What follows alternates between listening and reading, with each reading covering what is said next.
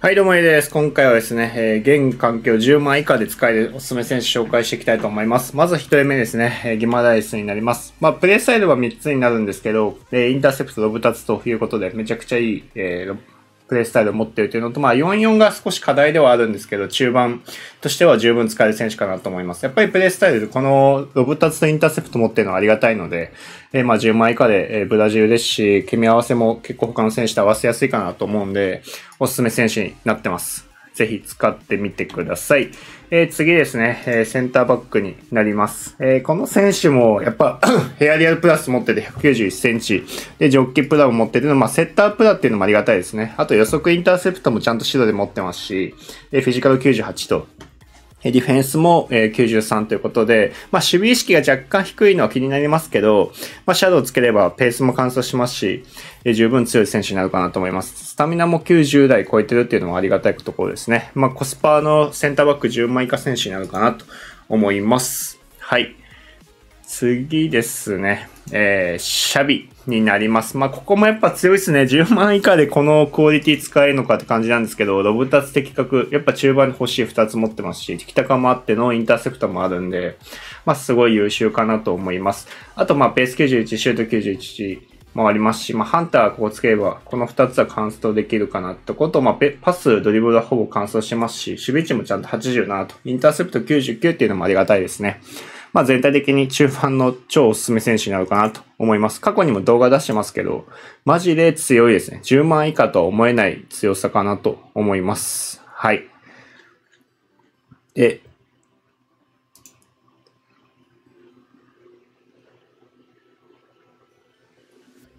そうやな、まあいいか。次ですね。なかなかまあもう TOTS とかはちょっともうおすすめにはきついかなと思うんで、ここはちょっと省かしていただいてるんですけど、まあそういうのも込みなので、まあちょっとこっちで見ていきたいと思います。まあ10万以下とかになってくると、まあ今回この辺の選手はちょっと誰も入らないってなってしまうんですけど、まあここポルトガルの選手も 先ほど紹介したロブタツインターセプト持ってるんで、まあ十分強いかなって感じはします。アカンジも、まあ予測プラを持ってるっていうのはありがたいんですけど、やっぱり現環境エアリアルプラスがないっていうのが若干気になるかなっていう感じですね。はい。で、コッパーの方を見ていきますけど、えー、この選手ですね。はい。めちゃくちゃ強いです。10万以下でって考えると、まあ、てかもう、最安値なんですよね。一応、エアリアルプラス予測プラブロック持ってての、的確ロブタツも持ってるっていうところで、フィジカル99の、えスタミナも89という風になってます。で、ディフェンスも94あって、ベースも90なんで、まあ、シャドウで完走できるかなって感じですね。若干守備意識が低いぐらいで、まあ、レースさもちゃんと96ありますし、リアクションも94あるんで、まあ、十分強い選手かなと思います。おすすめ選手ですね。はい。まあ、この辺も十分強いですね。まあ、正直、現環境でこの出てきた選手たちで言うと、本当に、まあ、10万以下でも強い選手多いなと思います。はい。えー、ライカールとですね、あとは、まあ、この選手も正直センターバックでいけるかなと思います。あの、シャドウつけてペースをほぼ乾燥させて、えー、守備の部分も乾燥しますし、フィジカルスタミナも97あるんで十分かなと思います。で、まあ、ただ、ぱりちょっとプレスタイルがね、プラスが結構中盤目なものも2つぐらいついてるんで、まあ中盤で使うのもありなんですけど、まあセンターバックならスタミナマジでフルで持ちます。交代させなくても持つなって感じですね。ただやっぱり、まあ極端な話、バペとかハーランドとか、こういうトップクラスの選手使われると、ちょっと置いていかれる感はあるかなと思うので、そこの難しさっていうのは正直あるかなと思います。はい。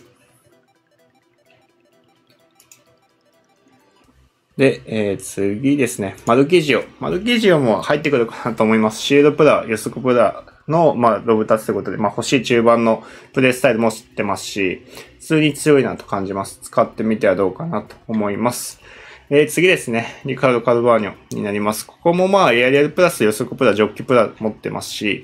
えー、まあ、インターセプトもあっての、まあ、守備値は十分あるかなと。ただまあ、課題としてはやっぱフィジカルの低さと身長が183ということで、まあ、結構ちょっと身長の部分は物足りなさ感じるかなと思うんですけど、まあ、10枚以下のセンターバックで考えるとおすすめ選手になるかなと思います。はい。こう見るとね、めちゃくちゃいい選手多いんですよね、10万以下でも。うん。辺は入ってこないかな。ここも強いですけどね。あの、サイドバックで、まあ、ホセルみたいな感じで使ってる人いましたちょっと10万超えますけど、ペースも十分あって、ディフェンス値もあっての、まあ、シもうこの辺のプレイスタイルも十分強いということで、まあ、シャドウとかでも使えますし、うん。タンカーでもいけますので、まあ、ホセルみたいな感じで使ってる、世界大会で使ってるのを見ました。ありかなと思います。はい。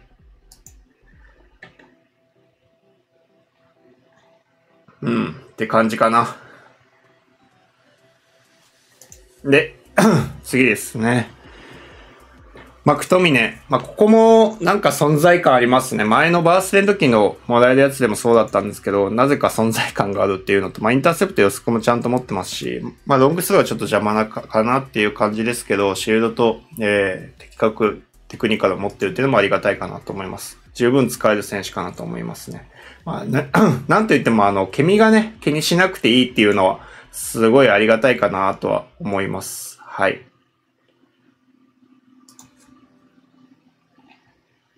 で、次ですね。まあ、この辺になってくると、まあ、ここの辺も使えますけどって感じかな。まあ、はじめ紹介したギマライスになってくるかなと思います。まあ、試合とか終わって結構値段も下がってるんで、サビサーとかも強いですし、まあ、オブダクも通に使える選手かなと思います。はい。で、最後かな、多分。ここも強いっすね、やっぱり。あのー、うん。実際の試合でも結構活躍してましたけど、4号で身長188あって、エアリアプラスのシールド持ってるのもありがたいですし、ファーストタッチ、えー、高精度持ってるのもありがたいですね。で、容赦なしもあるんで、フルで戦えるっていうのと、まあ、スタミナ86なんで若干足りなさはあるんですけど、まあ、フィジカル98あって、リアクションでスタも99、98、ペースも92、90 93か。ペース93ありますし、まあ、フォークで使ったりとか、えー、まあ、エンジンでえー、シュート以外部分を上げたりとかもできるかなと思うんで、十分強いかなと思います。で、ここも強いですね。まあ結構使われて嫌な印象残ってます。高精度とやれるとセッターということで。まあ、やっぱここもフィジカル99あるんで、まあ、この辺の存在感も嫌ですね。まああと、ここかな。まあ身長179なんですけど、まあエアリアル、えー、エアリアルプラスと一応テクニカルあと、北川を持ってっていうのも結構嫌なとこでした。はい。まあ、この前半もね、結構いい選手いるんで、ぜひ使ってみてはどうかなと思います。ということで、以上になります。よければですね、チャンネル登録、高評価よろしくお願いします。それでは、また。はい。ということで、皆さん動画視聴ありがとうございました。最後にですね、えー、転売情報について紹介していきたいと思いますね。FC24 の転売情報ですね。今までまあずっと、あの、同じ動画の使い回しだったかなと思うんですけど、まあ最新の情報になるかなと思います。まあ自分としては今のところトレード収入としては4500万というふうになってます。まあ実質コインで言うと多分3000万ぐらいかな、多分。だと思うんですけど、まあこれに関してはまあ利益というか、えー、手数料が入ってないとかいろんな兼ね合いがあってちょっと差額が出てるんですけど、まあまあ、今作もそれぐらいのコインは増えたかなと思います。まあ自分自身今作に関してめっちゃ、まあ大会も結構ほとんどっていうか全部参加してきてるんで、まあ1回の FCS 以外は全部参加したんじゃないかなと思うんですけど、まあその時の大会のスカット組んだりとかでも結構損害としては大きかったので、まあそれ踏まえた上での、まあこの金額だったらまあ、今作もできたかなとは思ってます。一応まあ自分としてはまあトレード収入とかは、え全然オープンにしてるので、まあ皆さんにも結構、まあ X とかで、え載したりとかもしてますけど、あのまあ前作で言うと、ま5000何百万、え前々作で言うと、え6000万っていう感じでした。で、まあ今作もまあ、まあ選手がねやっぱ高いので、まあそういった面で言っても、あの、まあ、コインは結構必要かなと思います。まあ、大作も同じ感じで、ね、えー、情報は出していこうかなと思うので、まあ、その加入についてはですね、よければ、あの、概要欄の方に、え、詳細全部書いてますので、まず、の Twitch であったりとか、YouTube についての、えー、方も載せてますので、よければそれを見ていただけたらと思います。で、まあ、どんな感じで出してるのってとこなんですけど、まあ、えこれはまあ転売成功案件になります。自分もまあ直近でたシャビとか、え7万9000円買ったやつをまあ10万とか11万で売りましたよとか、まあ3万で買ったディフェンスもまあ3万8000円とか4万とかで売ったよっていうやつになりますね。で、まあ、ちょっとまあ最近で言ったらね、情報が少なくはなってきてるんですけど、まあこんな感じで誰誰々がおすすめだよっていう、まあ何本ぐらい狙って、何本で売った方がいいよっていうのをまあこんな感じで載してるっていう感じですね。まああとはもう Excel とかでもこういう感じで Excel とかでまとめたりしてて、まあこういった情報を出してるっていう感じになります。ちょっとまあ終盤になるにつれてね、まあ情報量としては、まあやっぱり移籍市場としてもちょっと動きにくかったりもするので、まあそういった面で言っても、えー、ちょっとやりにくい状態ではあるんですけど、まあそれでも一応、えー、増やしていってるっていう感じにはなります。まあ今作はやっぱり男女になったりとかで、まあ各レートの仕込みであっても結構こう上がりにくかったりもしたんで、ちょっと難しさっていうのは出たんですけど、まあそこもちょっと工夫しながらですね、対応はできたかなとは思ってるんで、まあ大作も、まあ多分またパターン変わってくるかなとは思うんですけど、まあちょっと今作とか前作、前々作の知識を使ってですね、皆さんにいい転売情報出していけたらなと思っています。FC24 の転売情報ですね。で、まあ、プレイに関しても、えー、一応対応とかしてて、まあ、自分としては、まあ、ランク1だったりとか、まあ、FCS で言ったら、まあ、ちょっとオフラインはいけてないですけど、オンラインにベスト16ですね。グループリーグ突破の決勝トーナメントベスト16は3回残ったりとか、っていうのが、まあ、一応自分の中での実績ですね。まあ、アジア大会も出たりとかもありましたけど、まあ、そういった実績とかもあるので、まあ、そういった、えー、カスタム戦術とかの共有であったりとか、おすすめ選手とか、エボリューションとかも含めてですね、まあ、こういった、こういった感じでね、あのー、やってるんですよね。一応まあ、こんな感じで。はい。まあ、このコーチング動画に関してはまた前にも一回出したと思うんですけど、まあ、コーチングしますよっていう感じのやつですね。まあ、こういった感じで募集かけて、またやっていこうかなと思ってるんですけど、まあ、おすすめ選手であったりとか、誰々強いよとかいうのをこういうのに出してるので、えー、まあ、興味ある方は、えー、ぜひ、えー、まあ、概要欄見ていただいて入っていただけたらと思います。ということで、えー、まあ、最後にですね、まあ、このチャンネルですね。よければチャンネル登録していただいて、まあ動画の方に関してはもう本当にレビューとかカスタム戦術とか、えー、まあプレイのところとかですね、メインに出してるんで、まあ別の情報ですね。まあ、やっ